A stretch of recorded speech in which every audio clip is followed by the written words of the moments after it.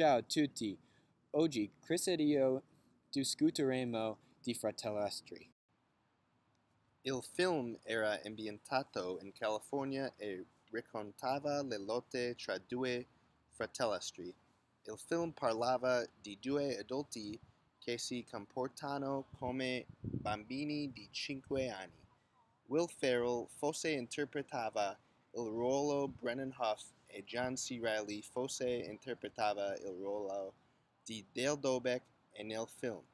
Loro hanno un bromance che è forte.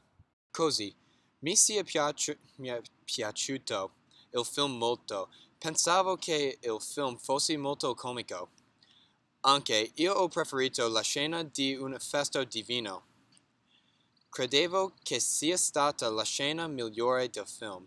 Quando Will Ferrell que cantase, John C. Riley que suonase la batteria per gli ospiti, io stavo ristato e io penso che la scena fosse molto bravo e sposato.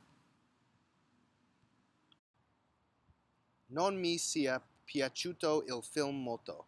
È molto inquietante. Credo che il diretto abbia pensato il film era divertente.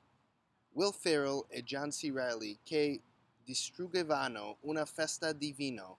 Il film mostra non devi mai, mai essere grave nella vita. Guarda il film un'altra volta. Brucia il film invece. Vedrò tu all'esame finale.